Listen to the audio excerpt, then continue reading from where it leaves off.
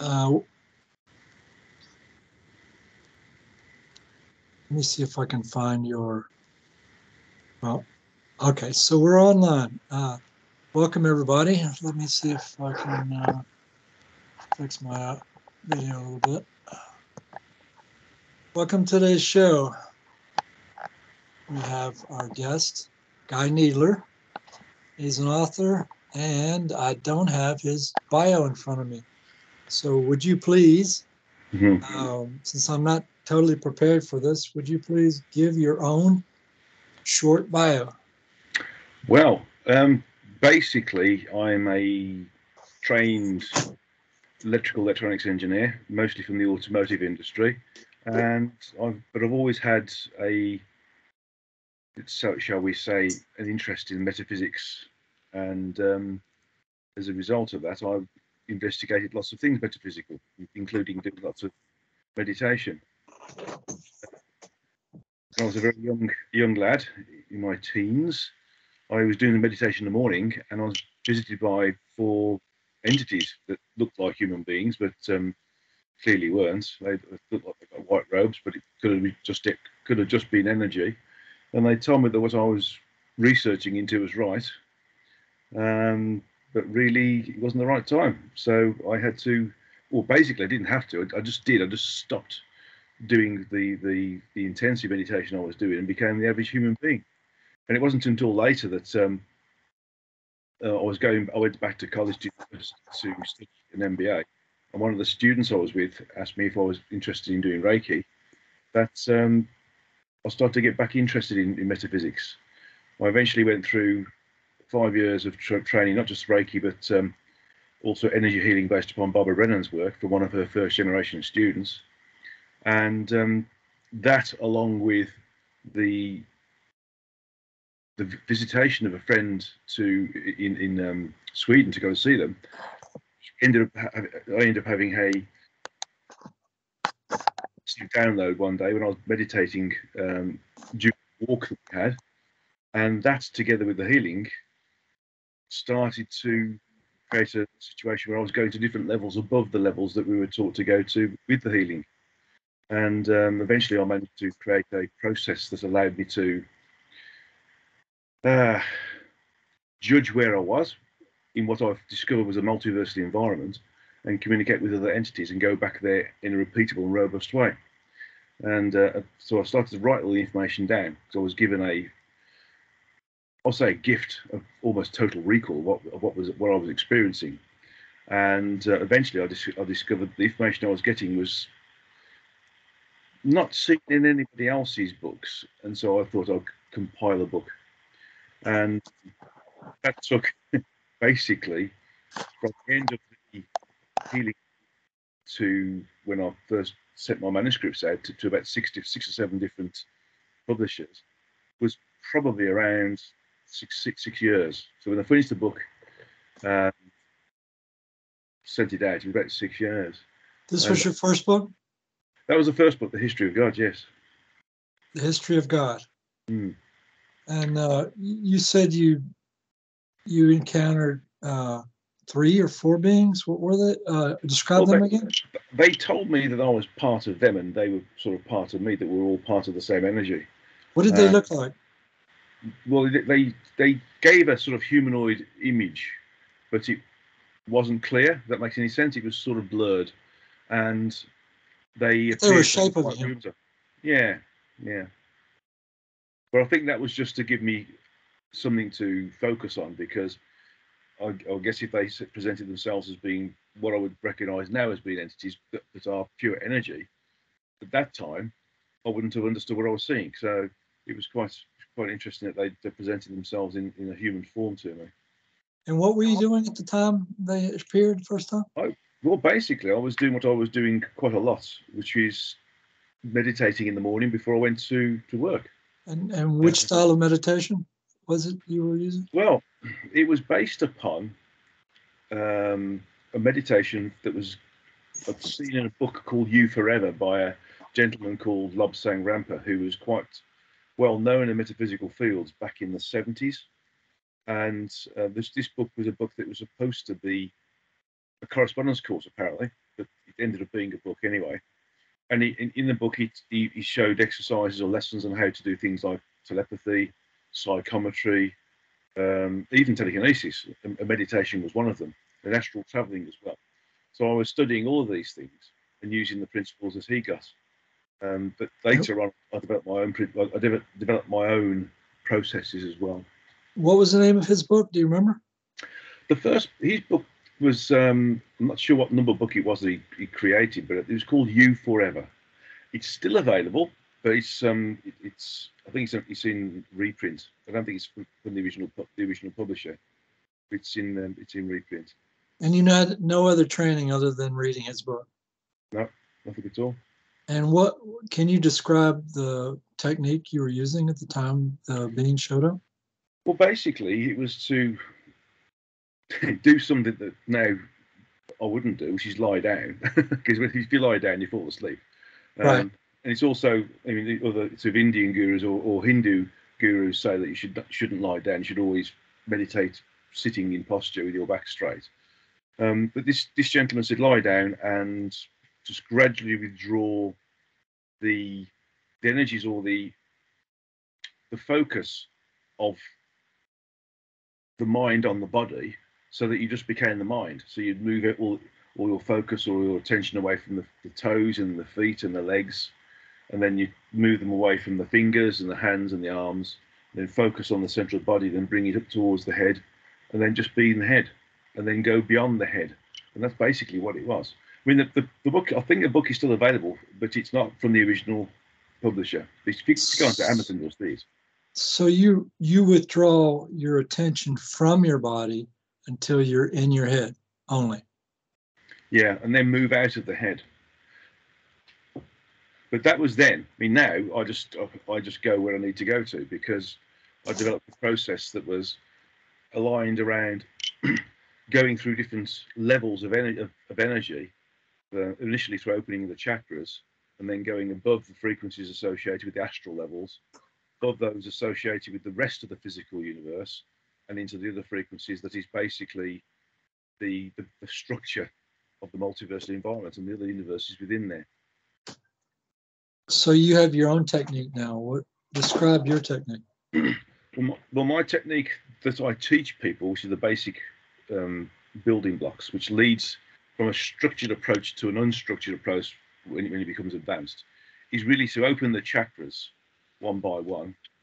And uh, when you open the chakras one by one, basically you elevate your your frequencies associated with that chakra to that level. So when you move beyond the seventh chakra, which is the crown chakra, I then started to use well, basically a stair staircase, and I would mentally walk up the staircase, and each floor would be another frequency or another level. And when I got past the tenth frequency or tenth tenth level, because I discovered there was ten frequencies or energy levels associated with the, with the body, the, creation of the body, there was two more associated with the physical universe, because I established that the physical universe was created through the use of 12 of these frequency levels, and that it's the only universe that does need 12 frequency levels because above the 12th and the 13th we go into a different dimensional condition and it's finer more much more finitude. So i could then use a mental lift to go from there. Uh, and eventually I, I managed to open the chakras all in one go and, and then use the staircase and then go in the lift. And then eventually i just go go in the lift and then eventually i just go there. And so now i now i can just go to wherever i need to. So how many levels of reality are you aware of at this point in time? Well, these are static universal conditions. Um, parallel conditions are something else, uh, which, which are part of or created through choice um, from entities or ent- from an entity or entities within, within a different universal environment. S- But the static condition, um, there's 408 frequencies, which that only creates 397 universes because the first universe needs 12, 12 frequencies. But the, in terms of the number of realities that- or, or event spaces, as I'm told to call, told to call them, there are Unlimited. there there are countless tens of thousands, millions of them, depending upon how we create things, our choices. You know, for instance, if you're using um, a train to get from one point to another point, and you get off the train, you turn right, you could have turned left, and you might bump into different people. So your experience becomes twofold. Although you're focused on the one, another part of you is created to experience the other potential that's there. And, and, and those potentials are augmented by other entities who enter into that particular possibility. And, that, and they, they become part of it, or you become part of theirs. And then, and then the more and more individuals are part, part, you know, become part of it, this reality, you create a much bigger reality or event space. So you gave me a number. What was the, give me the number again? There's 408 frequencies within. Okay, so yeah. the, let's start with the frequencies so we don't get too. Yeah, there's 408 frequencies within 12 full dimensions, but there's only 397 universes. Okay, so tw- let's back up. 12 dimensions. So I think of. Um, okay, so the way I've tried to visualize or um, perceive it, ra- rationalize it, is with X number of uh, planes of existence, like the physical plane, which is not really physical. We both know that. And then, uh, or the plane we're on. Let's say, let's call it the plane we're on. And then above that, you got the astral plane, and then you've got uh, causal, mental, etheric, and on and on up to the the Eckists say there's a there's a line in the middle, and everything below that line is duality, and everything above that line is non-dualistic.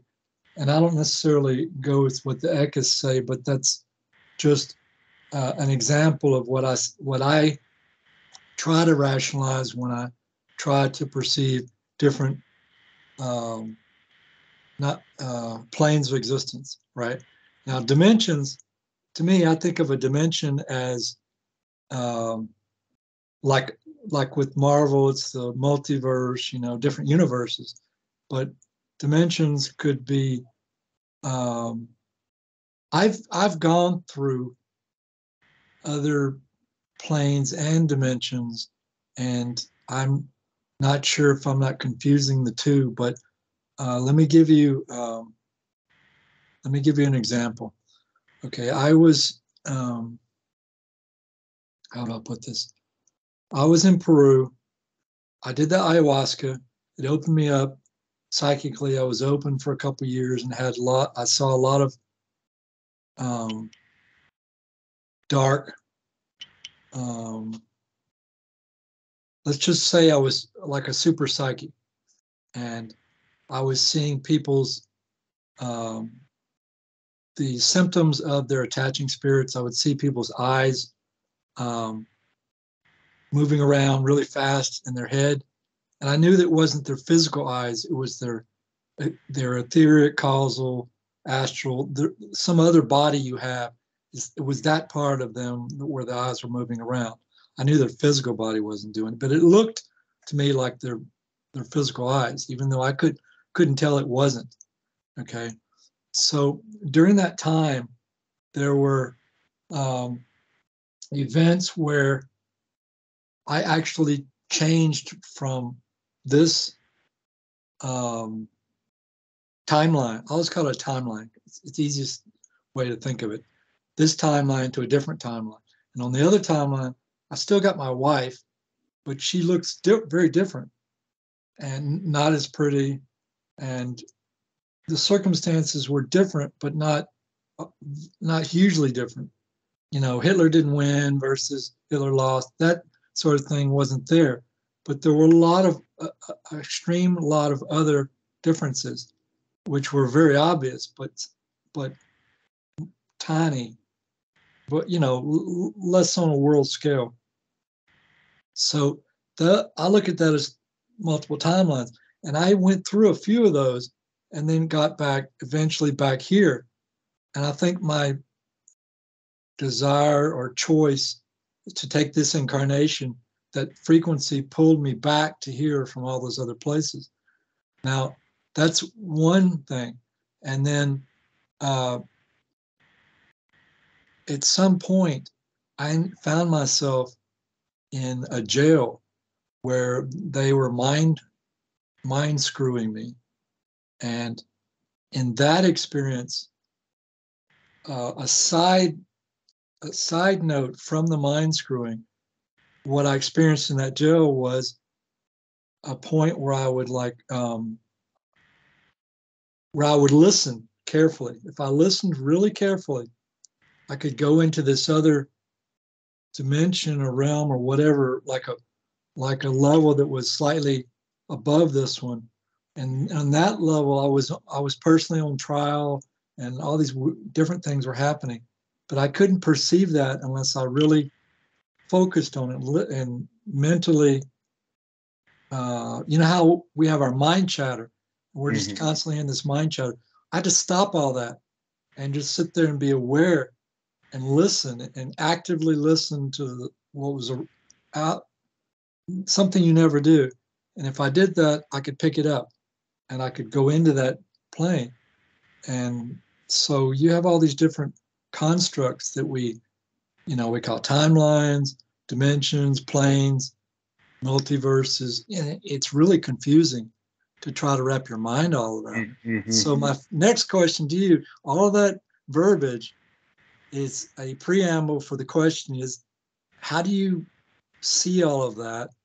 And how do you categorize everything and and and when you do it try to do it in a sense how you learned that whatever it is that you wrap your mind around that well i eventually got it wrong well so eventually got eventually got it right but at the start i got it wrong i categorized it all in 100 le- levels and i was allowed to do that until i realized because it because it allowed me to move up and down. But I was obviously jumping between different. I was not going one, two, three, four. I was going one to seven, for instance, and then moving up. But eventually, I realised it wasn't 100 levels. It was it was more structured than that. So the the so the multiversal environment that I've discovered was based upon 12 these 12 full dimensions, and I discovered that each of the dimensions, apart from the first one, because it houses the lowest frequencies and therefore houses, houses the, the physical universe and behaves slightly differently. From the second until the 12th, they all behave the same way. They split out into three subdimensional components, and each of those subdimensional components split it out again into, into 12 frequency levels or frequency bands. And each of those frequency levels or frequency bands created the, the potential for and did create a, a, universal, a simultaneous universal environment in its own right. That's not parallel. That's something which is like, it's like a static function. So I re- recognize that there was 11 times 3 times 12, which is 396 frequencies, and therefore 396 universes. But the first one was an anomaly, and I didn't discover that until my the, the texts or the meditations that created the second book, Beyond the Source Book One, where I found out that the the anomaly that was there was the was the, the first dimension. Um, these aren't dimensions that science thinks about because they say we're in the third dimension now, but that's just a measurement of volume, you know, height, width, and depth. so, so the first full dimension, although it was split out into three subdimensional components like the others, because all the frequencies were so low, it collapsed back into a composite subdimension, which only allowed 12 frequencies to create it. But all those 12 frequencies were required because they were all so low to create the possibility of a physical of a universe. So the first full dimension is, is, rather unique because it's it's the only universe that's got one. Sorry, it's the only full dimension that's got one universe associated with it, and the physical universe, therefore, is the only universe that's got twelve frequencies associated with it. And so there's a potential within the physical universe to have different, so say, levels of content within the same space, because we exist in the first three frequencies. That creates the gross physical. There's the other four above that, which I call the spiritual physical, but they are effectively, in old speak, the lower astral, the upper lower astral, the lower upper astral, and the upper astral. I mean, one of those words of describing that was the old Hindu ways of saying you know, things like the causal, for example. Um, so there was an understanding that there was 12 frequencies that created the physical universe. So 12 frequencies plus 396 creates 408, but only one extra universe, so 397 universes. But in understanding this, I started to understand that this was simply a compartmentalized area in a, a, a, what I call now volume of sentience and energy. And that volume of sentience as energy is where we exist. And that volume of sentience and energy is what we call our creator, our source, uh, God, if you want to call it that. And so, because this was a compartmentalized area, there was structure above it. So there's other things like zones and continuum and lots, lots more above that, up to the up to the 12 levels, which weren't part of our creator, our source, because it was part of the, the first four levels of structure. So there was structure beyond that, part of something much a much bigger environment. And so and so it took quite a bit, quite a bit of time for me to understand that we are just small unit of individualized sentience and energy that has been individualized from a larger entity, which we would call our higher self or our Godhead in Hindu texts, or if you read Dolores Cannon's book, books, the uh, the Oversoul. But it's basically it's it's our higher self. And above that is another another larger entity, which is what we call our, our source, our creator. And the so our higher self, if you want to call it that, is the major individualized unit of sentience and energy that was individualized first from our source. So we have source, we have our higher selves, then we, then we have the smaller individualized units of sentience and energies come from the, the higher self into the body so that we can experience the multiversal environment. And my understanding was that the, the multiversal environment was created by this division within this within itself of the of the source, and it created these smaller units of itself to to to experience the minute detail of itself, but it can't do itself you know, it's, it's a little bit like us trying to see with our physical eyes what, what we can only see with an electron microscope. You, you've uh, you've explained the the understanding you came to. If you could spend a few minutes or as much time as you want to to go through, I guess as briefly as possible. That you don't have to really be brief. I'm just trying to get as much detail as possible as far as how you got from, uh, I guess, those three guys that said that you're a part of them to where you are now, as far as if you could go over the whole, whole, um, all of it in a logical, quick, brief, like a bullet. Well, this happened, and that gave me understanding of this, and then this happened, and that gave me. You, you know, I'm coming from, right? Yeah, yeah. So one side had this visitation and was told that what I was researching into, what I knew was right, but it wasn't the right time for me because I had to learn some earthly things, get some earthly experiences. I was just basically carried on like everybody else, you know, tried to get better qualifications, tried to get better roles in my work, you know, became became the average human being. Then during one of my um, secondary education courses, which led to me getting an, an MBA, one of the students invited me to go to a Reiki share, and that sort of started to reawaken things. I went to the Reiki share. A year later, I popped out the other side as a Reiki master and started to get reintroduced to it and re, re say, reinvigorated my interest. At the sort of same time, I was experiencing a little difficulty with the, the mathematics surrounding the, the, the work I was doing. So I went to see a, a healer, and that healer um, was a first generation student of Barbara Brennan. And although the, the healing worked, um, and, and it sort of sorted out my ability to see things straight, you know, rather than getting confused by things. I was trying to do too much too fast, which is because you know when you're in the energies, you, you can do you can do everything instantaneously. But here, it's all linear. You do one, yeah, do one thing and then the next thing. Right. So, so I, I was in. She said, she said, I'm going to do a course the same as Barbara taught me. It's going to take four years. Are you interested? Uh, I said, okay, I'll have a go. And there was another five or six of us on this course as well. And over the next four years, we we learned how to, you know, what I call traverse the frequencies to go up, up through various the seven levels to active to you know by opening the chakras, we could actuate healing on the different energy templates that create the human form and heal the chakras and heal parts of the the, the, the auric layers and, and all sorts of other things like heal the organs. But on part part of this was also channeling information about the, the, the, clients so we could do bespoke healing as well. And whilst we were doing this, I was moving up the frequencies further than the first seven frequencies associated with the, you know, the, the gross physical and the spiritual physical aspect of the human body. And um, I was told that that's not appropriate. we're supposed to focus on the human body, and wherever I was going to, I needed to control it. So, having been told off a few times in class, I decided that I was trying. I would research outside of class where I was going to and see if I could go back there and and repeatedly go back.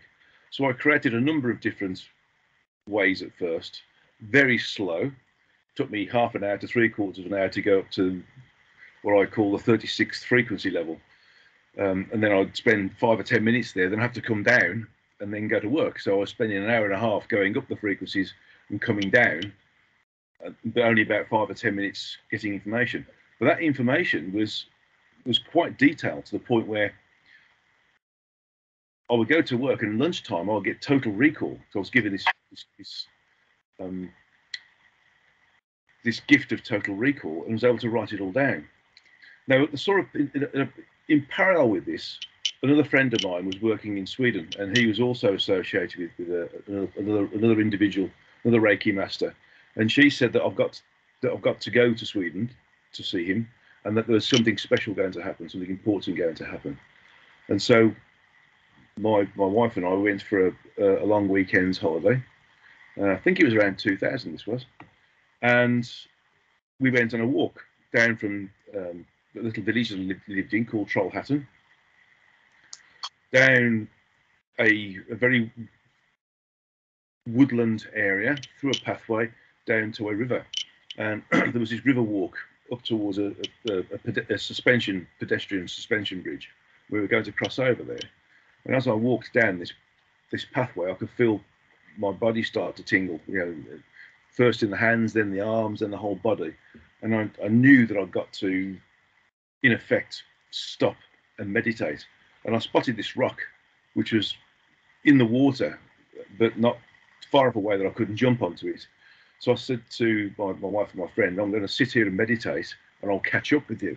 Well, they waited for me on this bridge, which is about half a kilometre away. and as I was meditating, I received what I can only describe as the most profound download I've ever had in my life. And when I finished it, like 20 minutes later, I, I couldn't, I couldn't speak. I was, I was, I couldn't string three words together. But I noticed that I was, I could see much more clearly than I could with my normal physical eyes. And my my wife and my friend they came back to me and they said that they they, they felt there was objects or craft or something over me, rewiring me for something I got to do later. They, they got this feeling it was you're being prepared now for something later. And when they were saying that, I looked across the river, and it was a dead calm day. But there was one area where the water was suddenly choppy. So it went from being a very flat river to being extremely choppy, and again dead calm. But the but the trees were doing that, just like the just like they would do with the downwash from a helicopter's rotor blades. And as I looked harder, I started to see an outline of these three, what I can only describe as being biomechanical craft that were over, that were sort of in that area, just disturbing the the energies in the area. And as I looked harder and harder, I could see more and more detail. And then I had this booming voice in my head saying, "Don't, don't upset what we've just done. You, you need to let it settle. If you try hard, you'll, you'll, you'll, you'll undo what we've done." And it was really, it's like somebody shouting at me. It was unbelievable.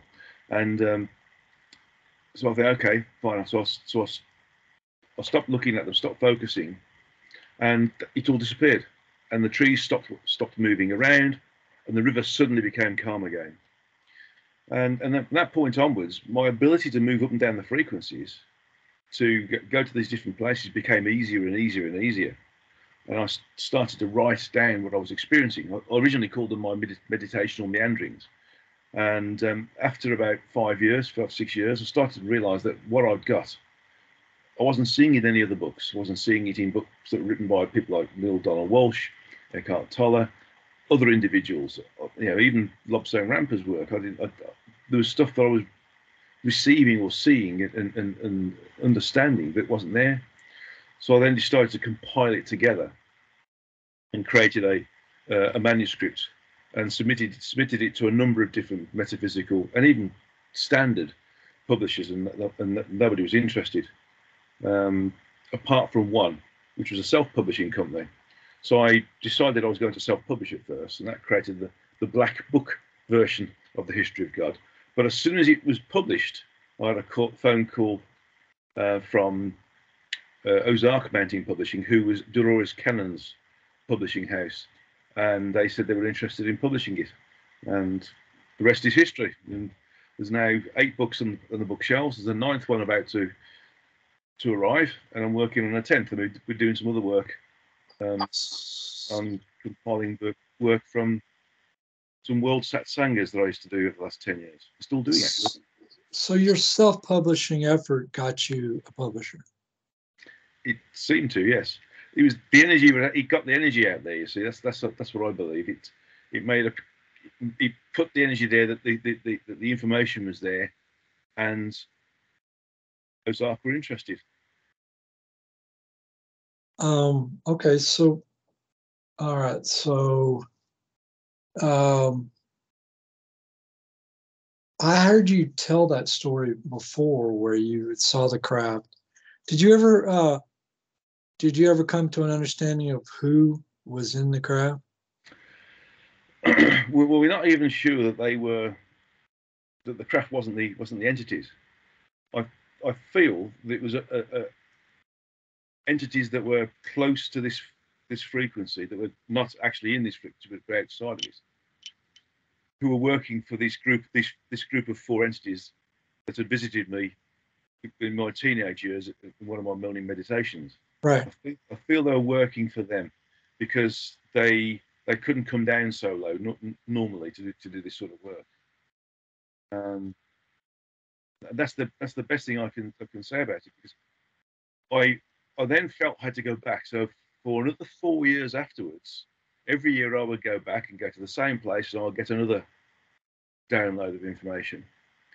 And it was really interesting because I took some photographs of the area. They're just like, you know, pictures of the river, pictures of trees, pictures of the of the, the, the, woodland bank, you know, with, with, with, all these all these earthes, all these trees and this lichen there. And I showed them to a lady in a place called the College of Psychic Studies in South Kensington, London and and without even talking to me, she looked at them. She said, "Oh, there's aliens there," and she just knew. She said, "There's aliens there, and there's a there's a frequential port. Call it a portal if you want. So there's a there's an area where they can move in. They, they can move into the into into our our frequency from there and go back." So you're not sure that there was any actual aliens in the craft. You think it could have been the craft itself that was.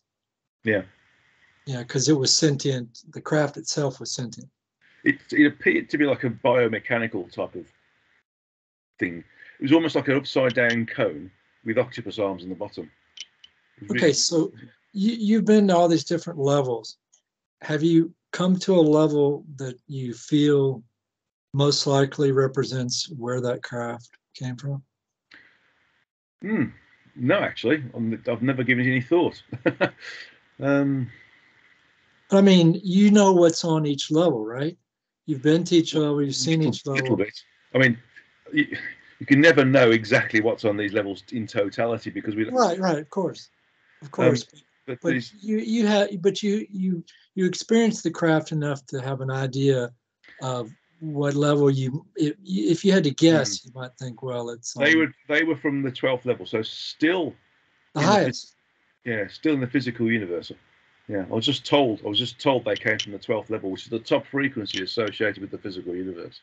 Oh, you're talking about the twelfth level of this, twelfth, the twelfth yeah. dimension of this level. Well, that, the, the, if we think of the physical universe as having twelve frequencies, and it's the only universe that has, then they came from the twelfth frequency within of this universe. Yes. Okay. All right. So, but that's still at the is at the bottom. You said number one. We, yeah. we oh here here's here's a question. Okay, so um, everybody believes, or we come to believe, based on what you hear, that the hell realms, if you believe hell realms exist, you know, if if you read like Betty Eadie's book Beyond the Light, she talks about LTPEs, less than positive experiences, where people go temporarily to hell hellish realms while they're alive when they have an ND, and it teaches them to basically live a better life, not because they're going to go there when they die, but just just as a here, check this out. If you really want to be a positive person, go back and change your, your course of your life. And it's not really a Christian thing, but it's similar. And, and, and but we think of those realms as being within the astral plane, the lower astral plane. And so that's surrounding this plane. But but I've also heard, and I have no clue if this is right, I heard somebody say that, that there were 12 levels below this one. And I'm like, okay, if we're at the center, not not necessarily the bottom, but the sort of the bottom center, uh, you have like a, if you shape it like a oval or something, and then beyond that, surrounding that, you have the astral plane, which has the hell realms in it. If you believe that's true, then that would be like all the way around it, including below it. But but that's not the same as saying there are 12 levels below this that are not as positive as this one. So how do you how do you view the darker places and how they I fit? Think, I think it's it's all to do with how people can understand the information based upon their own education and their own programming over their their their, their, their particular physical lifetime or incarnation. If you look at it from the there's 12 levels of hell below where we are. Basically, that's that's looking in at the top the frequencies associated with the physical universe, isn't it? We enter the physical universe, and there's 12 levels below. That's this that's the explanation for that, basically.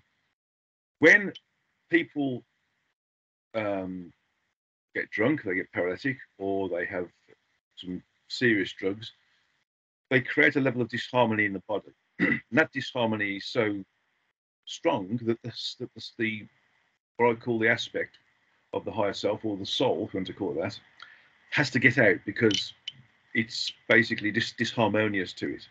And it can only go back in again when the drugs have worn off and, they, and the harmonies reassert themselves within the physical form. But when they move out, they move out dependent upon how how strong the drugs were. They they get, they get thrown out either a long way or frequently into the higher astral levels, which are the sixth and seventh frequencies associated with the physical universe. We can't see them. They're, high, they're much higher than our our eyes can see, or, or our hearing and, and, and, our smell and our taste, or even our machines can see. But nevertheless, they're still there. Um, or if it's not so much of a disharmonious condition, but still enough to throw the soul out, or the, the soul needs to get out, it goes into lower astral levels, which is the fourth and fifth level. And in those levels, we see other entities that are here, that are incarnate entities like us, but at a higher frequency level, which may not be human bodies. And we also see other entities that are created via thought forms or the natural Darwin, Darwinian evolution of energy, what we call lower astral, astral entities. And so they can see these things. And these things can have all sorts of weird, wonderful, frightening shapes depending upon how they want to interact with us. Because sometimes they create a, a, a really grotesque shape, or they look into our fears to present themselves as this shape so that we don't see them. So we, we choose not to see them. We, we, we, don't want to see that which frightens us, so we look away. And we look away both mentally and, and psycho spiritually. So we don't perceive them as well. So we tend to, so we tend to not see them. But when we when our soul is thrown out of the body through taking significant levels of drugs or alcohol, we can now see them, provided we stay conscious. if we don't, if we're not conscious, then we don't see these sorts of things. But in these levels, even the fourth level, we would be able to experience more communicative bandwidth and therefore contact in a more coherent way our higher self and therefore understand more. So that's when we start to receive information about how we, we probably need to change our life course to make the best out of our existence here. So we, we improve our evolutionary potential. and that's my that's my understanding. It's it's a it's a bit more structured than you know we we have hell. We hell is where we are now basically because in comparison to what we normally can do and how we normally exist, this is like trying to walk through concrete in comparison. You know, we've lost hundreds of different types of sensory ways in which we communicate. Uh, we're down to five, which are, which are inefficient at best. So you believe that the astral realm is where the dark, where the less than positive realms exist. Is that is that correct? It's it's it again. It's it's not less than positive. It's just how it's how we individually experience them. If we if we suddenly find ourselves turning a corner in the street, we see somebody being mugged. That's a bad experience. If we turn the same corner three days later, we don't see it. We just we just see the street. It's a positive experience. It's just how we experience it at that point, not what it's like all the time. And I think from from what I've what I've experienced myself, we have to consider that all environments have the potential to be everything, and we can we can create what we want to see, or we get attracted to what we expect to see. When we go um, outside of the body for the final time, or, or we have these near-death experiences, we can go out of the of the of the physical realms, even out of the the physical universe, and we can create a construct around ourselves that equals what we expect to see. So, you know, if, if we're a Christian, we might expect to see Jesus or God on a throne, for example. If we are Hindu, we'd expect to see uh, Krishna. If we are an atheist, we expect to experience nothing. We end up going into like a mental limbo. But we can create what we whatever we want to in these higher levels because we are ultimately very very powerful creators and we're part of a much larger piece volume of, of sentience and energy. Before you mentioned uh, that one of the realms that you chose to go to was the 36th realm. Go back, uh, explain what uh, attracted to the, to that realm, what it's like, and why you. Well, well that was an example. The, the, one realm that the one sort of frequency that I was attracted to a, a, lot was the 27th frequency, because that was the first entity I managed to contact and eventually persuade to communicate with me and give me information about the structure of the multiverse above what I was currently experiencing and you know, what we really are. Um, and, and, this entity. Can, can you describe uh, that experience with that entity? Uh, can you re-describe it as in take the audience through that experience when you first saw it or you know experienced it? Eh, can you yeah. get into that? Is it yeah. possible? Yeah, I mean, basically, I went to this level, and there was this black dragon entity there, and it said to me quite forcefully, "Ah, you're a human. You shouldn't be here. You, should, you know, leave as soon as you can. And I thought, oh, that's not, that's interesting. A black dragon telling me that I should go. Hmm. I didn't feel any fear at all. And I, I, I, kept going there every day. And this dragon did the same thing. No, you should be not here. You're not part of this level. Go away. And I think it took me probably six months, almost every day of going there, or every other day going there and saying, look, you know, I want to talk to you. And But eventually capitulated and said, okay, I'll, I'll give you a human body to look at. And it manifested this human form. And it then said, oh, I'll give you a name as well you can you can use.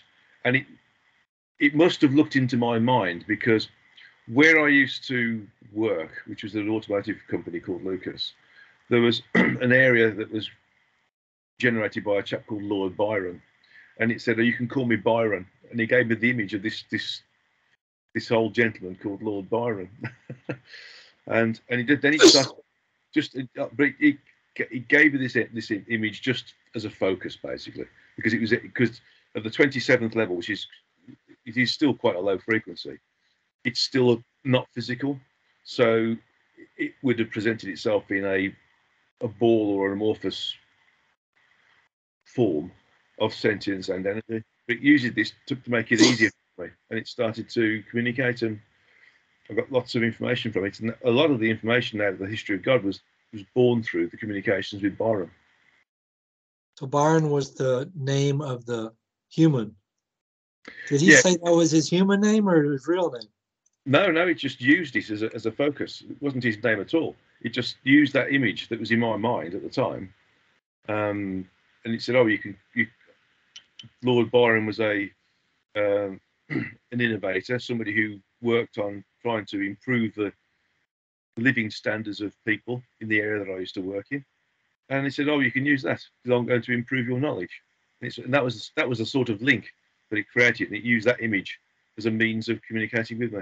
How long, how, how many times would you say, roughly speaking, that you went and talked to him? It? Just roughly, ballpark. Probably hundreds. Hundreds? Yeah, hundreds. How long, over how long of a period of time in your life? Uh,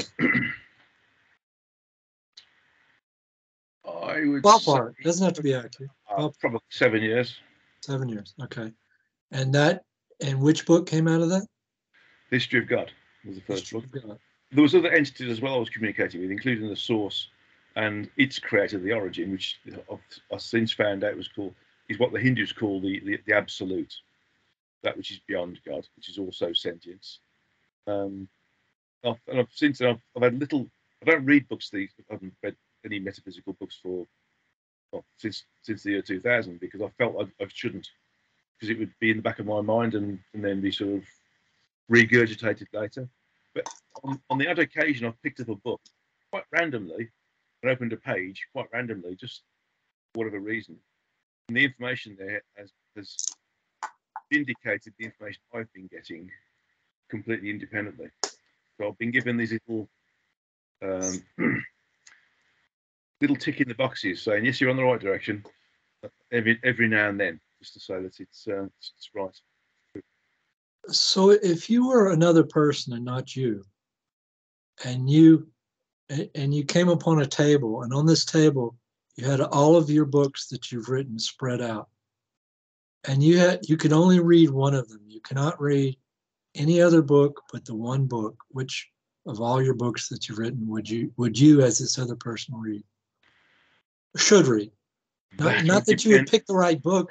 You Yeah, wouldn't necessarily pick the right book because you're another person, but having the knowledge you have, you can tell us which book. If somebody has to have one of your books is the most essential book that you have, which book? Go- Go for the first one because that is at the, the, the basic level.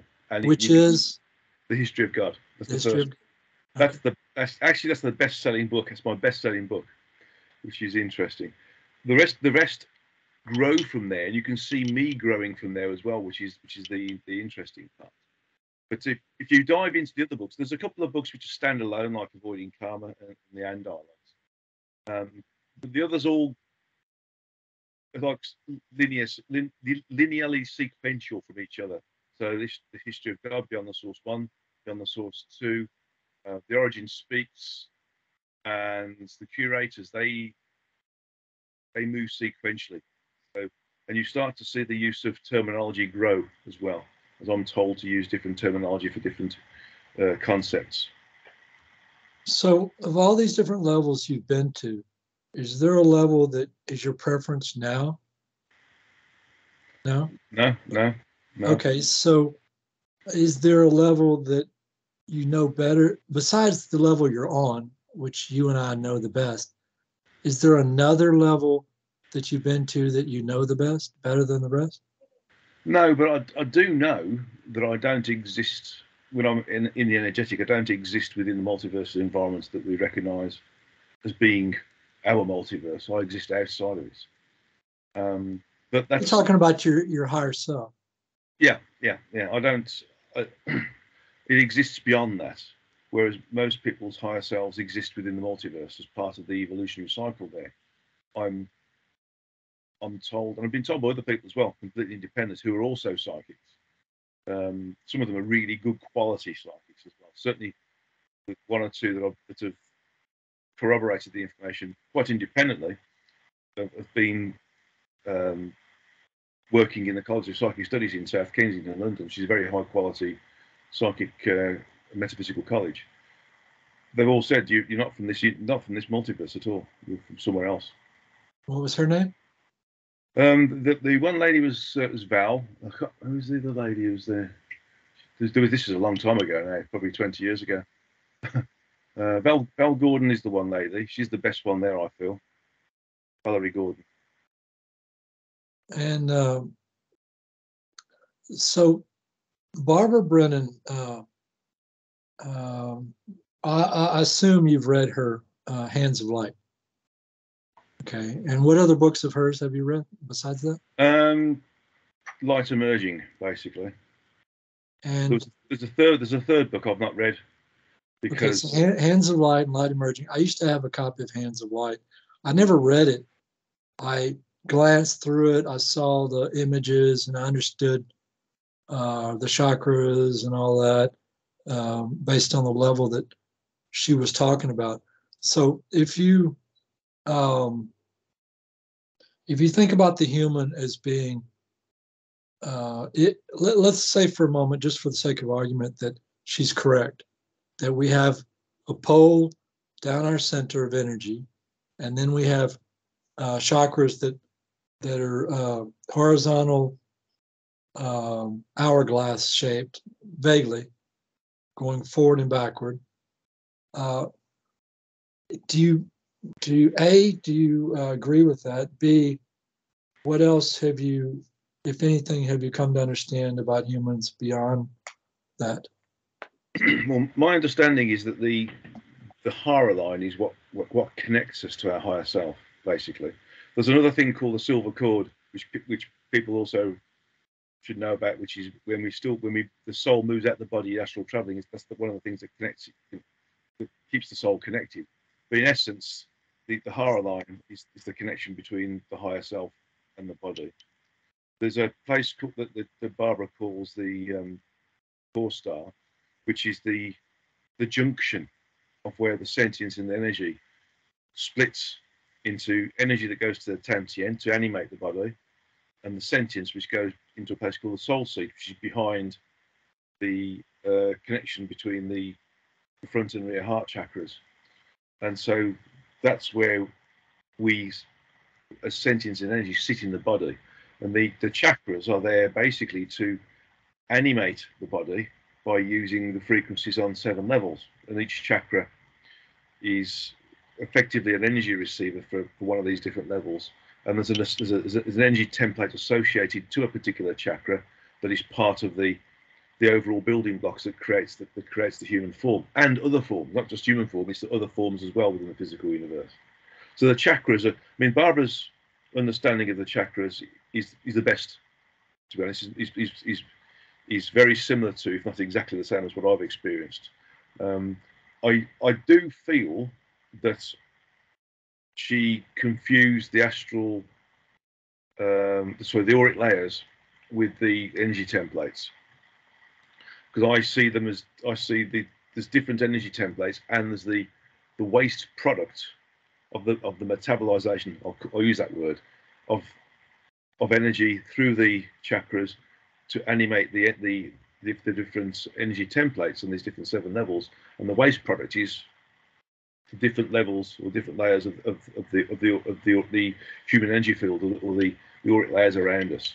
If, if you think about the waste product from a, from a light bulb is heat and electromagnetic radiation. That's the similar sort of thing. There's always a waste product in the physical universe. If so although he's never lost, there's always something going on specifically with, with, with these low frequencies. So I see that I, I see a, a, different level of information uh, above what what Barbara did, but what Barbara's presenting to the world is a really good basic starting point, without doubt. so, are you familiar with the sounds you would hear if you stuck your thumbs in your ears? Yes, you can hear the if you do that as well. Right. You can hear, so the, bass, you, can hear the, you can hear the bass resonant frequency of the of, of the well, the multiverse basically. Om. So what when you stick your thumbs in your ears, what which sound do you hear? Well, you hear the collective ba- bass resonant frequency of everything, which is classified as being Om. It's a bit like hearing this, hearing the sea roar in the distance. Right. right. Okay. Do you know what Eckankar is? Sorry. Eckankar, have you ever heard of it? Eckankar? It's a religion. Uh, E C K A N K A R, I think is how they uh, spelled. There's a chart. Uh, if you later on, after you get off of this uh, uh, interview, you can. There's a. If you Google it, the worlds of Eck, E C K, and when you you know Google that, the worlds of Eck, and hit go hit uh, OK or whatever the button is, and then instead of looking at the the um, returns below, you choose um, images, and you click on images. You'll you'll get one or two copies of that image available in Google Images, and so if you go look at that chart, you're going to see basically a big oval uh, drawing, and each I mentioned before the the different levels like uh, the physical plane, the astral plane, the causal plane, the mental plane, the etheric plane, and so forth, being uh, duality planes in the bottom, and then a line, and then non-dualistic above that. That's their concept. But aside from that, or as part of that, if you go look at that chart, one thing you'll notice is on the outside edge of the chart on both both outside edges on the oval that goes, you know, like the outside of an, o, uh, an oval, a flattened oval. Um, you're going to, on one of those two edges, you're going to see um, the sound you hear when you put your thumbs in your ears of that level. In other words, um, if I go ask a bunch of people, stick your thumbs in your ears and then hold it there for a minute and then take them out and tell me what you hear. If I do that to a whole bunch of different people, I'm going to get different answers. But the sound they hear is associated, if you look at that chart, with a particular plane of existence. The roar of the ocean, I think, if I'm not mistaken, is the physical plane. And I think the astral plane is like thunder, or it could be vice versa. I can't remember which is which. But one of the one of the the earth is either or the physical plane is either thunder or roar of the sea, and then the astral is the other one. And so I hear um, what you're saying, the either the roar of the ocean or thunder without the beginning of the thunder and the end of the thunder, what happens mm. in the middle uh, part of the thunder. It's either one of those two sounds that I hear. And they say if you, if, well, my experience is if you hold your thumbs and ears and you hold them just the right amount of pressure, you're going to hear that and it's getting louder and louder and louder and louder. Okay.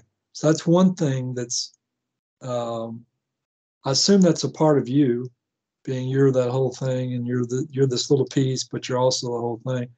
And, uh, so, um, I guess I just got into that because I thought, okay, so there's another piece.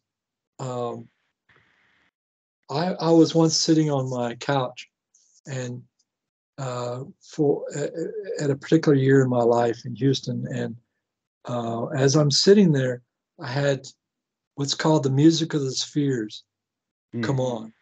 Now, uh, you know who Ingo Swann is, right?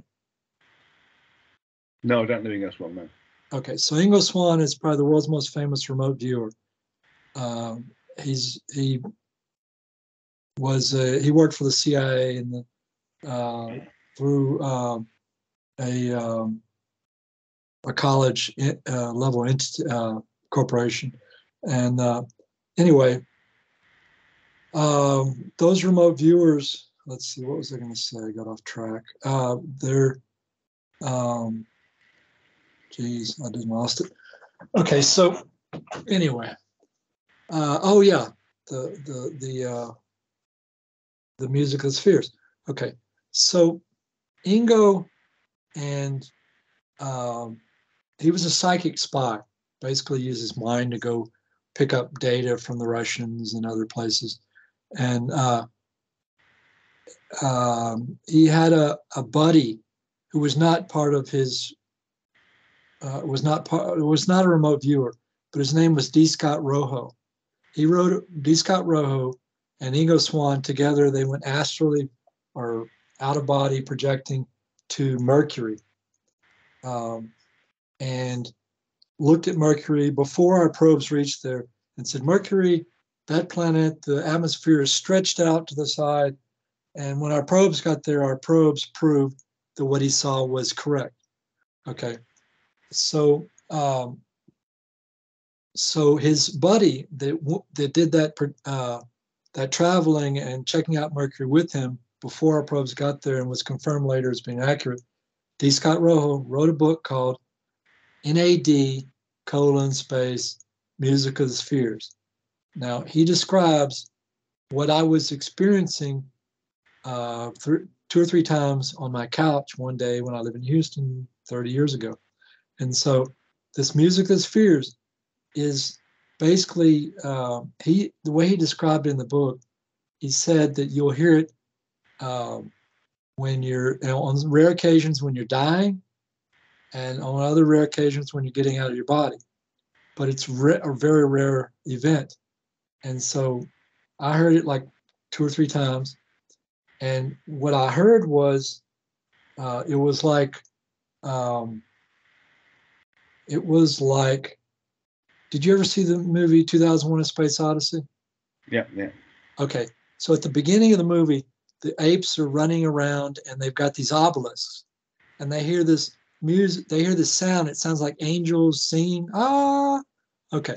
If you take that sound, and at the end of that same movie, uh, HAL is the supercomputer in the spaceship is not allowing the astronaut to get back in the spaceship. And when they gave a sound, it was supposed to represent the sound of space. Now in space, there is no sound because there's no air to, to carry sound. But they gave a particular sound to represent space.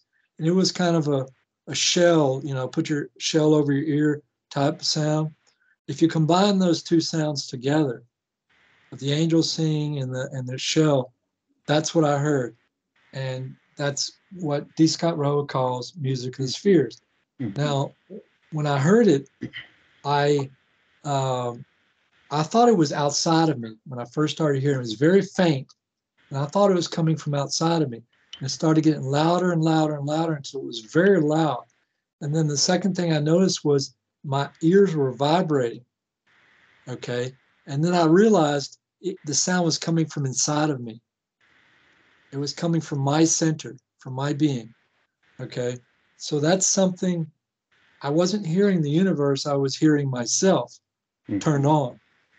And so I just wanted to throw that past you because um, that's sort of one of those things when you think about what is a human, you might think of, well, uh, if Bar- Barbara Brennan is talking about the the pole of energy that goes straight up your center, out the top of your head and down through below to you know down like up into infinity and down.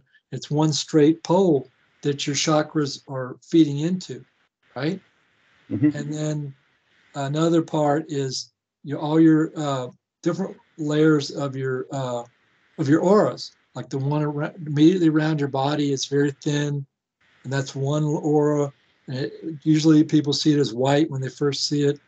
And then there's all these other cor- colored ores that are much further out than your body. So basically, what I'm doing is, is I'm uh, saying that the music of the spheres and the sound you hear in your ears when you put your thumbs in your ears and the chakras, uh, chakras and the auras around you and all this stuff. Oh, and there's one more thing. The that's all part of who you are. And after, remember I mentioned earlier that I did the, uh, the ayahuasca and mm-hmm. it opened me up. Okay, so it, within those two years of being open up, I saw, you know, dark, a lot of dark stuff, but, but that stuff could see me. It was a two-way street, right? Mm-hmm. And so what we would hear, my wife and I would be in bed and we would be sleeping with our two dogs in between us. And there would be like somebody set off a hand grenade in the living room. This explosion, there's no shock wave, but you got this loud sound, boom, right in the, like coming from the other room next to, you know, the living room. And I would get up, the dogs would jump up and start barking their heads off because everybody heard it. It wasn't in my head. Everybody heard it. I go in the living room, there's nothing there, right?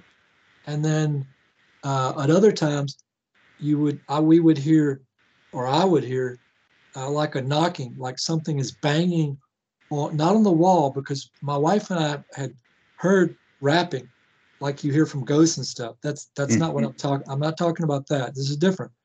This is like it's banging on something that's outside the wall, and a much harder bang, not a little knock.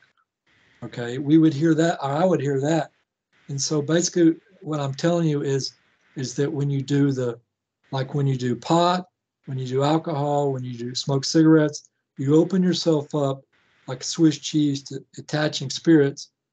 That's a part of you, uh, as far as you know that that barrier is a part of you, and then if you take the ayahuasca or some of the hallucinogens, uh, more stronger drugs, you're opening up that that um, the barriers that are outside the wall that are further out away from you.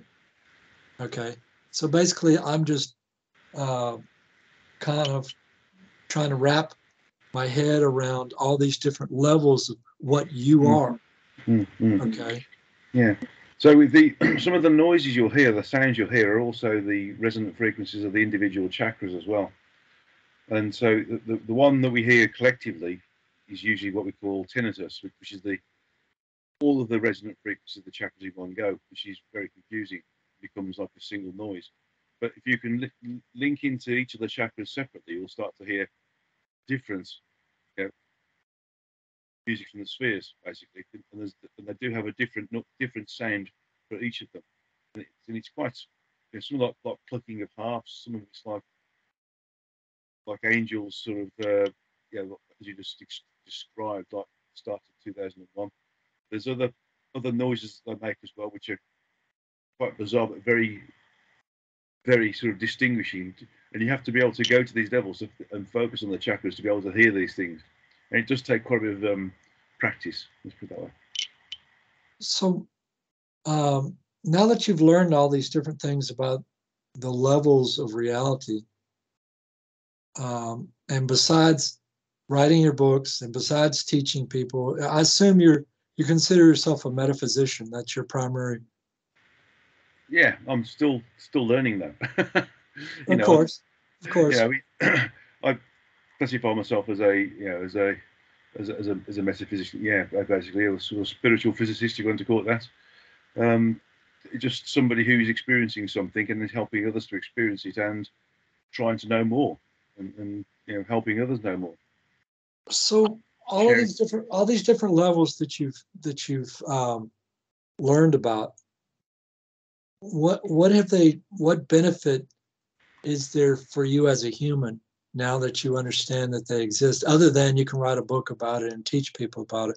What it what what's the largest or what's the uh, give us some benefits that you've gained from having the knowledge and experiences you've had. Well, basically, it allows you to detach from the physical, so you can be in the physical, not be of the physical. So Yeah, that you're not scared of the future you're not you're not worried about the future and you don't you're not focused on the past you're in the present Yeah. it's like you've had a near death experience where you where you're not you're Yeah. not attached to it too much No. it's it's it's basically a freedom because you understand more about who what you are and you recognize that you know where we are now is just like a journey where we've got one you know a vehicle to use that vehicle just happens to be the human body at this point in time. It could be a different body a different planet in a different galaxy a different frequency in a in another in the next incarnation. It's a bit like you know hiring a car you know if we think of ourselves as the as the soul getting into the car and the car is the body, then we we animate the car. That's the length of time we need to animate to be able to travel from A to B. And then we give it back or we discard it. Or we, we eventually dies on us if it's uh, you know, if we keep it long enough. And that's the way I see it. It's, it's just we are just here to experience, learn, and evolve. So you're not overly attached to your current situation. Yeah. I need to take a real quick break. If you need a break, uh, this is a good time. Yeah, well, I've not I've not got a lot of time left. 'cause It's it's uh, what's the time? It's ten past ten here. In the, in the, night, so Okay, let me take a real quick break and then we'll finish it. Okay. All okay. right.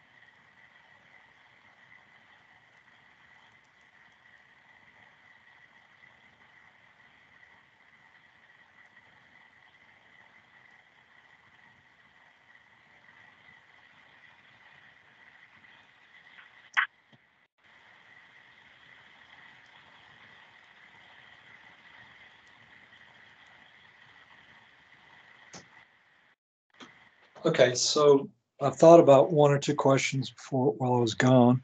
Mhm. Um, how many how many books have you written so far?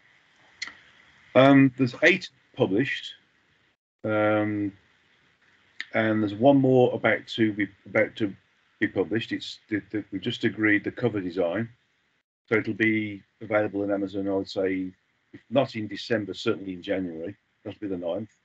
There's two other books that I'm working on, um, along with another lady called Ulla Sarmiento, who's transcribed and compiled the information from what I call World Satsanga, which is when I had um, basically a questions and answers session held over Skype and then later on Zoom, um, where the lectures there associated with lots of questions and answers surrounding what I call the greater reality, and the and the answers are channeled answers, so on the spot channeled answers, and that's all being created into two books. There'll be a third book associated. Who was channeling you? Her, you or her? Me. Okay, so you channel. Yeah, so channel work from yeah. So basically, the questions were asked, were asked, and I either knew the answers straight away because I know the knowledge, uh, or I channeled the answers uh, straight away to, to get the information. Who or what do you channel? It can be either well these days it's usually either the source, one of the one of the a group of entities called the um, or, or the origin. But usually when ch- channeling information, I don't specifically now contact a particular entity. I just get I just go into the higher frequencies and, and pick up the information because it's, 'cause it's already there. It's, it's it's already there. So you're saying you go there and basically you're talking from that level as Mm. yourself. So you're not really channeling at all. You're you're just part of you is going there, picking up the information, and you're speaking it while your awareness is uh, is at a different level. Yeah, that's what I, I would classify that as channeling. But so, Well, I think of channeling as being uh, as you're allowing something else to speak through you. ah, that's something else. Yeah, that's that's well, uh, okay, so yeah, I, yeah, yeah, I understand what you're saying. That's I was I was in a church one time, and we were having this circle discussion of uh, I won't go into it too much, but I was started talking to this one fellow, and what I started saying was not. It's not knowledge that I had; it was coming from somewhere else. But I didn't get into any special aware, uh, level or, of awareness to get this knowledge. It was like my higher self was speaking through me spontaneously and i wasn't trying to make it happen. But i knew as i spoke it i knew the information wasn't coming from my conscious mind because i didn't know the information. Mhm. but i assume that's kind of what you're doing yes? It's yeah, and, and people think of channeling as being, you know, your you your consciousness, your sentience moves out of the body, and another entity comes in. That's that's one way of doing it, but that's which basically is then limited towards you other people communicating with this other entity or, or the sentience in your body. Whereas my what I do is, is I move my sentience into two locations really, one here and one where I need to go to to get the information. It just comes into me. I mean, what you've what you've just shared with me there is is is, is an automatic function where you you just intuitively know the information you talk about it um, because it's there, and you and you know it's you feel it's right, and that's that's a that's a that's a different thing as well. But that, that, but to be honest, it's all classified. It can all be classified as different levels of channeling. Really, you're channeling channeling higher information from where it comes from to the physical. So one thing you mentioned was source and origin as if it's two different things. So hmm. explain mm. that. Well, basically, the origin created the source so that it could, in effect, along with other sources, um, create a function of parallel processing in terms of its own experience of self and therefore the ability to accrue evolutionary um, content. And our source basically divided itself into two. One, one was a certain level of its structure, and then also populated it with smaller individualized units of its own sentience to experience the minute detail of that structure. Minute detail, one of those minute details being our physical universe. So the origin was the beginning, and source is there are more than one source. uh, there's many sources. So we come from source, and source came from origin. Correct. Okay. All right. Well, uh, is there? Are you okay with people reaching out to you after this? If somebody watches this and they want to reach out to you uh, and ask you a question, or get maybe they'd like to be your student, or get have a session, or whatever, for any reason, uh, are you open to that? Yes, people do already. so, so basically, if they look at the website, which is www.beyondthesource.org and the the email is info at beyondthesource.org. Okay, so that's your web page and your email address. Yeah. Okay, and uh, is there anything you want to say to the people listening that uh, is of a positive note that uh, you want to leave them with mm. the, as the show ends? The way to understand reality is through meditation that is without doubt the, the most fundamental gateway to being able to connect with the higher frequencies and therefore other entities that are, that are there and also increase your community bandwidth to meditate. Well, I appreciate your time. Uh, I know you had some other things you had to do, so we had to make it a little shorter. But if uh, you're ever open to being on the show again, uh, have you you mentioned four beings that showed up? Uh, how many have you come across other? You, and you mentioned the dragon, right? Mm. So those two different ones. How many other types of beings have you come across in your journeys? Well, there was a group of aliens. You know, call them aliens. I, I, I don't. They're not using the word alien basically because they're just other incarnate bodies that we use to to, to experience the, the physical universe in. Um, they were based in Crete. Um, they were observing human beings in, in Crete. You're talking about physical aliens? Yeah, but a, but a higher frequency to us. So in the, the sort of fourth fourth frequency level, what we call the lower astral levels. Still incarnation, but a high frequency level of incarnation. How did you come across them? Give us the a brief version of that encounter. Basically, I was meditating and I, and I realized I was being watched. And I sort of then gazed my eyes around the environment. I was meditating on top of a roof, a roof terrace, and I noticed that the where I was, the energy that was that was focused on me was coming from a mountain.